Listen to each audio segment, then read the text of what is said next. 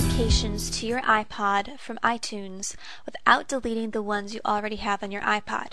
Now, for instance, some people, when they have a Wi Fi connection, will download applications from iTunes directly on their iPod Touch.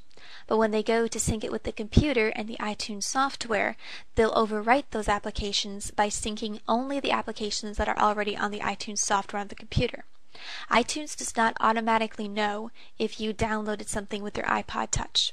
It only knows what you've already synced with iTunes. So, in order to uh, sync your applications without the current ones being deleted, you have to follow this procedure. Now, I already have a video very similar to this on my channel, and it's called How to Sync Apps Without Deleting Them something like that. However, I got a lot of feedback of people saying they weren't able to get it to work. A lot of them did, but the problem with most of them was that they didn't update the software. So I'm going to show you today how to update the software on your iPod and on iTunes before you try to sync your applications. So we're going to go to this devices category where your iPod is listed. You're going to click on the iPod name. You're going to go check for update and it tells me this version of the iPod software, which is on the iPod Touch, is the current version. Click OK. Now to check for the iTunes software, which is on your computer, click Help, check for updates. And it's telling me that this version of iTunes, the version 9, is the current version. So if we have trouble, we know that checking for updates isn't going to be our problem. Now, I'm going to show you how to transfer purchases from your iPod to iTunes. You're going to do that by clicking File, Transfer Purchases, or by clicking right-clicking the iPod name, Transfer Purchases. And you can see the activity in this window up here. Now right now I don't have any new apps, but if there was a new app, you'd say it, it, it would say up here something about syncing the name of the app.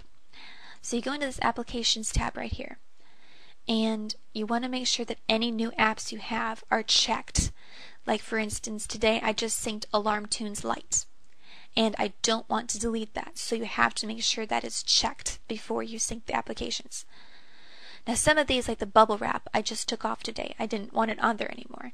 It is still in the library, but it's not checked. Now, if you want to take something out of your library, you can go up here to Applications in the library and so put bubble wrap. You right click and you delete it. And you, it says, are you sure you want to remove the selected application? I'm going to say yes. And I'm just going to tell it to move it to the recycle bin and I'll have to delete that later. So now we'll go back into the iPod name, the Applications tab, and you'll see that Bubble Wrap is no longer listed as an option. You could download it again if you wanted to, but it's no longer listed. And if you if it doesn't work the first time, you can always say transfer purchases again and it'll do it again. But you see that one did not show up. So once you delete the application from here, you probably better make sure you really want to delete it because you're going to have to download it again if you want it back. Um, that's probably pretty much it before you sync it. You'll notice some of these are not checked. That's because I don't want them on there. If you change your mind in the future and they're still in your application library over here, you could always recheck them and it will sync it again and install it on your iPod for you.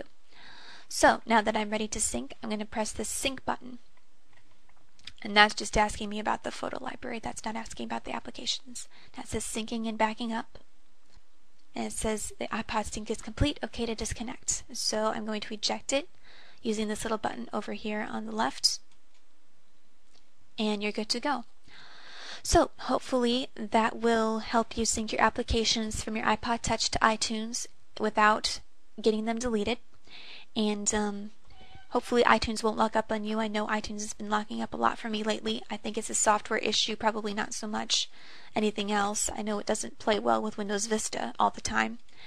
So if anyone has a solution for iTunes locking up when I'm syncing my music and music only, I would really appreciate it if you shot me an email or a, a message or a comment or something.